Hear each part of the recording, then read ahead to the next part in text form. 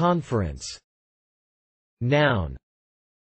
The act of consulting together formally, serious conversation or discussion, interchange of views. Conference. Noun. A voluntary association of congregational churches of a district, the district in which such churches are. Reference